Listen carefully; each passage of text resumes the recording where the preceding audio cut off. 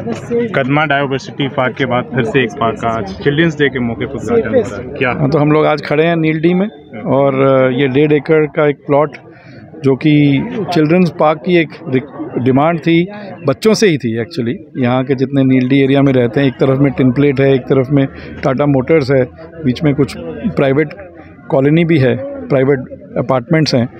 तो ये सब रेजिडेंट्स का था कि हम लोग को अगर खेल कूद करना है वॉक करना है तो जगह नहीं है। तो ये डेढ़ एकड़ का प्लॉट जो था, इसको एक कन्वर्ट किया गया है चिल्ड्रंस पार्क के लिए।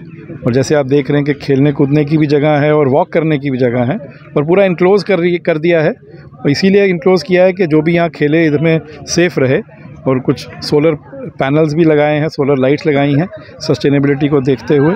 और कुछ पोर्शन अभी पीछे की तरफ़ में काम पेंडिंग है जो कि अभी चल रहा है उसको भी क्योंकि एक ड्रेन है वहाँ पे उसका ड्रेन का काम करके उसको भी कंप्लीट कर लिया जाएगा। और, और मुझे आशा तो यही है कि ये सब लोग यूज़ अच्छे से करेंगे यहाँ पे और जो भी बच्चे हैं वो खेल कूद करें अपना कसरत करें। ताकि सेहत सबसे ज़्यादा ज़रूरी रहती है लाइफ में चाहे वो बड़े हों बच्चे हों उसी लिए।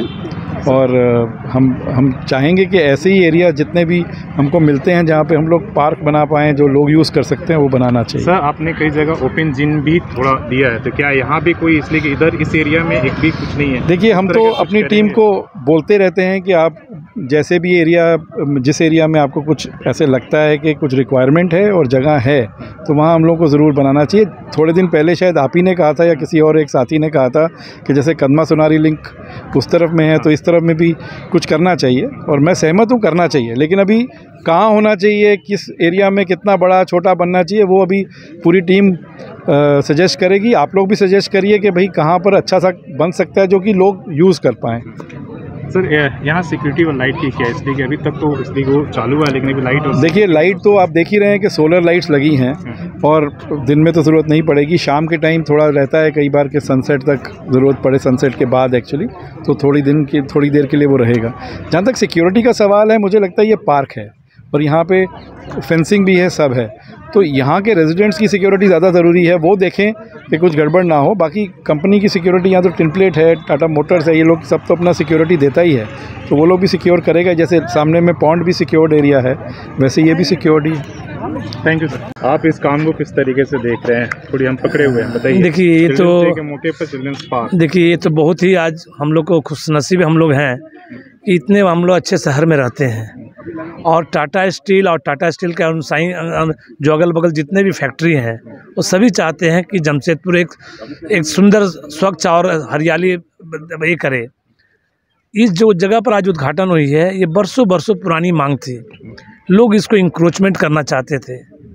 इतने बड़े प्रॉपर्टी को इंक्रोचमेंट करना चाहते थे। यहीं का स्थानीय लोग ने मिलकर ये आवाज़ उठाई है, टाटा स्टील के एमडी से वीपी से और या स्थानीय विधायक से। कि यहाँ कुछ किया जाए। तो छः महीने पहले जैसे हम लोग आए थे यहाँ उद्घाटन करने के लिए पौंड का, उसके बाद में यह काफ़ी बुरा स्थिति में ये जगह था। और उस समय देखने लायक था कि यहाँ कोई आदमी आना नहीं चाहता था। उसके बाद जिस तरह से यहाँ पर उसका सौंदर्यकरण हुआ और चिल्ड्रेन पार्क के रूप में डेवलप हुआ, वाकई ये काबिल तारीफ़ है। हम बोलेंगे कि सोसाइटी को भी अपने को सौभाग्य समझना चाहिए कि इतना बढ़िया जो है चिल्ड्रेन पार्क मिला है। और कंपनी और विधायक जी स्थानीय विधायक जी और कंपनी को दोनों को हम कृतज्ञ हैं। धन्यवाद देंगे कि इतना सुंदर जो है पार्क बना के डेवलप किए हैं बच्चों के लिए। ये चिल्ड्रेन पार्क जो है उन्हीं के लिए है। चौदह नवंबर है बाल दिवस है। उस उपलक्ष्य में आप लोग आज उद्घाटन किए हैं। बहुत बहुत धन्यवाद साधुवाद। चिल्ड्रंस डे के मौके पर सर चिल्ड्रंस पार्क जो उद्घाटन हुआ है क्या कहेंगे इस तरह का? ये बहुत ही बड़ी अच्छी उपलब्धि जो बनी है। ये बनी है यहाँ के जो शहरवासी हैं उनके सहयोग के द्वारा।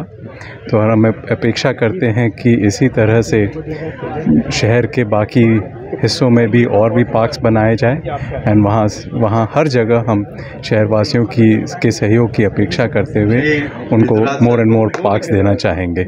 आज बाल दिवस के उपलक्ष्य पर सभी बच्चों को बहुत बहुत बधाइयाँ। धन्यवाद। Thank you